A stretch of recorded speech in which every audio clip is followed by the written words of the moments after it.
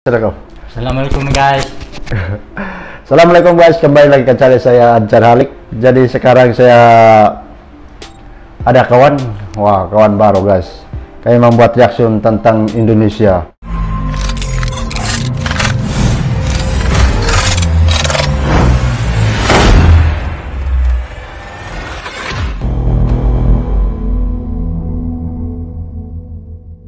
Dia punya tajuk Indonesia jadi bahasa resmi negara asing.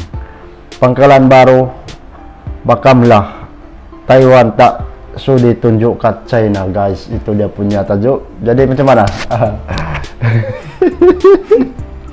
Oke. Oke guys, sebelum itu guys jangan lupa subscribe, tekan tombol merah supaya tidak ketinggalan saya punya video-video saya terusnya. Dengan uh, ini saya punya kawan nama siapa nama? Apa nama?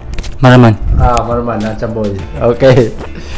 Jadi kita lanjut guys. Tanpa buang masa, jom kita lanjut ke video dia dalam kiraan 3, 2, 1.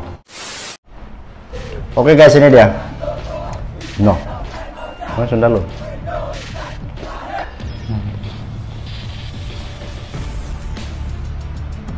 Hmm, maritim.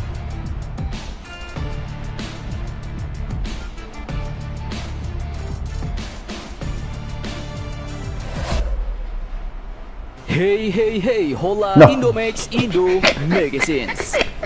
Nah, berita terbaru kali ini yang pertama datang dari bahasa nasional kita, eh? bahasa Indonesia, Bahasa yang Indonesia. ternyata telah dijadikan bahasa resmi negara Nguyen Nguyen Vietnam dan bahasa wajib tentara Kamboja. Oh. Nah, pertanyaannya, mengapa bisa bahasa kita Indonesia dijadikan bahasa resmi dan wajib bagi tentara di negara-negara mereka? Apakah mereka ngefans dengan kita? Setelah ini kita bahas, bos. Oke, Bos. Kemudian berita kedua yang cukup Nasional mantap Republik kali ini Indonesia. datang lagi dari Bakamla. Badan Keamanan Bakamla. Laut Indonesia alias Coast Guard-nya Indonesia yang kini kabarnya tengah bersiap membangun pangkalan armada barunya. Nah, di daerah manakah pangkalan armada Bakamla baru ini berada? Setelah ini kita bahas. Kemudian nanti berita ketiga yang cukup panas Taiwan. datang lagi dari Taiwan, Hmm, bos. Di mana Hmm, presidennya yang yaitu Tsai Ing-wen oh, lagi-lagi menolak tunduk pada China dan berjanji akan terus memperkuat militer Taiwan. Nah, gimana? Penasaran beritanya? Cus, tanpa banyak bacor, mari kita bahas beritanya satu per satu, bosku. Oke, Bosku. Oke, yang pertama berita kali ini admin kutip dari situs tempo.co tertanggal 11 Oktober 2021 hari ini bos yang mewartakan bahwa bahasa Indonesia kini ternyata telah menjadi bahasa resmi di negara Vietnam dan Oh, juga bahasa bahasa resmi di- wajib ah, bagi di Vietnam. tentara Kamboja. Pertanyaannya, mengapa Vietnam dan Kamboja menjadikan bahasa Indonesia sebagai bahasa resmi negara dan bahasa wajib militernya? Nah, yang pertama mulai dari Vietnam. Negara. Vietnam. Pemerintah Ho Chi Minh City pada bulan Desember tahun 2007 silam secara resmi mengumumkan bahwa bahasa Indonesia telah menjadi bahasa resmi kedua di negara itu setelah bahasa Vietnam. Dan terkait hal ini, bahasa Indonesia pun akhirnya menjadi sejajar dengan bahasa Inggris, Perancis, dan Jepang di negara Nguyen itu, bos. Dan ternyata alasannya pun simple. Hal ini pun dilakukan Vietnam untuk meningkatkan studi bahasa Indonesia dan menjaga hubungan bilateral dengan Indonesia. Selain itu, tak cuma Vietnam. Yang Pak cukup Jokowi. menarik di sini juga adalah Presiden tentara Kamboja, Indonesia. bos di mana mereka ternyata juga telah menjadikan bahasa Indonesia sebagai bahasa wajib bagi para pasukan militernya. Dikutip dari kemlu.go.id, markas besar Tentara 911 di Kamboja bahkan pernah membuka kelas bahasa Indonesia di mana tujuannya ternyata adalah agar memudahkan pemahaman dan komunikasi dalam menerima berbagai pelatihan bidang militer yang diberikan oleh Indonesia kepada Kamboja baik di Indonesia maupun di Kamboja. Nah, itulah no. tadi alasan mengapa kedua negara ASEAN itu menjadikan bahasa Indonesia istimewa di negaranya. Dan sebenarnya tak cuma dua negara ASEAN itu saja, Oh iya, bos, punya yang senjata. menggunakan bahasa Indonesia. Karena per bulan Juli tahun 2021 kemarin tercatat sudah ada 30 negara yang juga menggunakan bahasa Indonesia. Selain itu terdapat 76 lembaga dan 7.638 orang-orang di berbagai negara yang mempelajari bahasa Indonesia. Nah, tahukah kalian negara mana sajakah itu? Silahkan kalian cocot bacor di kolom komentar bos.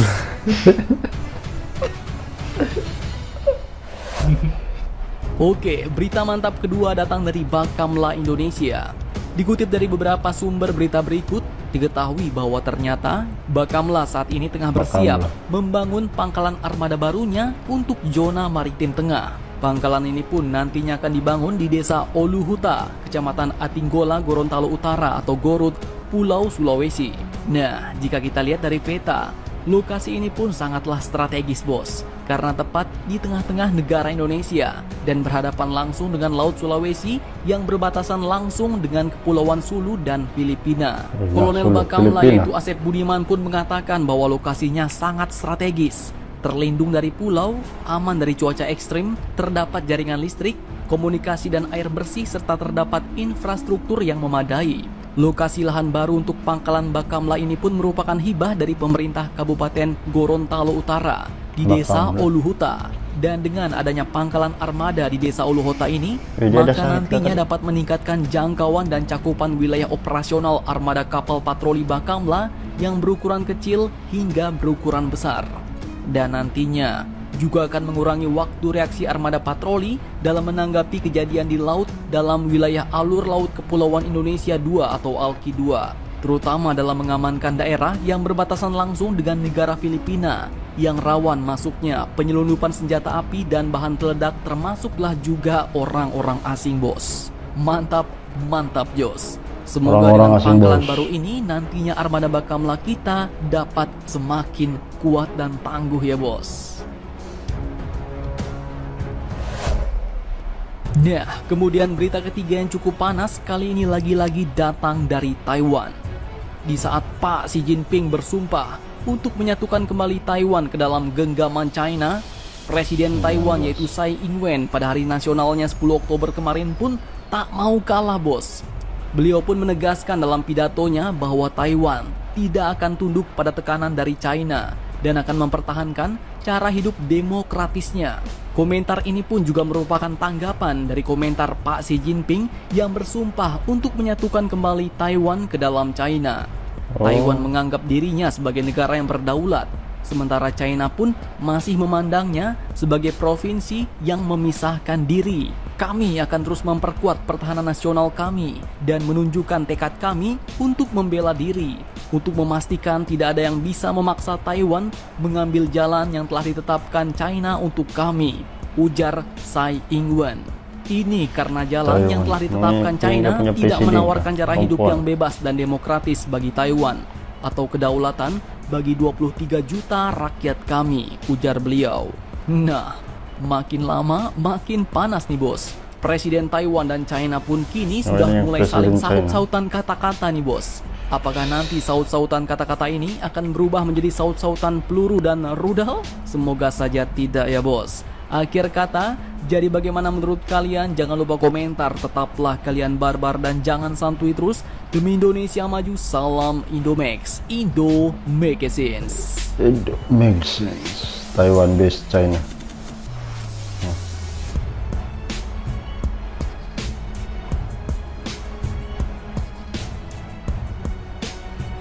Right now.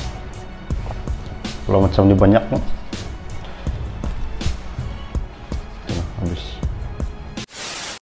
Mana? Oke. Oke guys, itu saja daripada kami. Ah, memang cantik dia punya video itu yang Indonesia jadi bahasa resmi negara asing guys. Itu dia punya tajuk tadi itu memang terbaik dengan Taiwan ya tidak mau lagi dikungkung lah kira macam tu dengan China guys mungkin sebab dia sudah berpisah dengan negara China.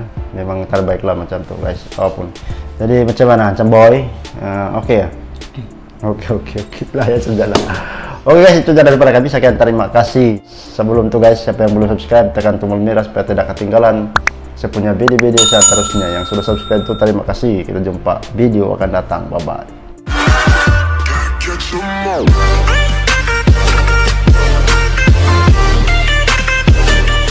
Terima kasih karena sudah subscribe. Jangan lupa tekan tombol lonceng